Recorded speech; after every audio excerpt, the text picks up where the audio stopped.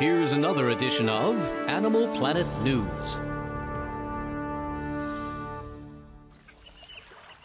Less than 6,000 rhinos survive in protected parks in India and Nepal and in zoos around the world. But now rhinos are charging back from the brink of extinction, and they're doing it nature's way. Species survival programs have zoo rhinos courting like crazy. And when a couple of armored suitors whip up roughly a ton and a half of passion, well, something's going to come from that. Something like this.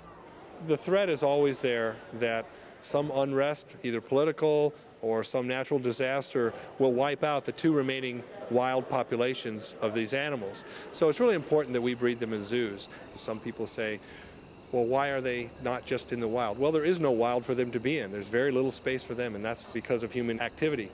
People have destroyed most of the rhino's natural habitat, and for centuries we hunted them nearly to extinction, believing, wrongly, that powdered rhino horn was a powerful aphrodisiac.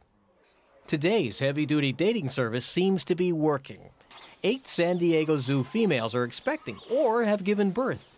There's a new baby at the Oklahoma Zoo and two more at the Fossil Rim Zoo in Texas. But none is cuter or muddier than Himal, one of two Indian rhinos born at Washington's National Zoo. We hope to continue to breed these animals, not for reintroduction to the wild, but really, once again, as a, a safeguard against extinction in the wild. In Nepal, herds of wild rhinos are also starting to grow, proving that despite all that thick skin, when the mood is right, nature will take its course. And that's Animal Planet News.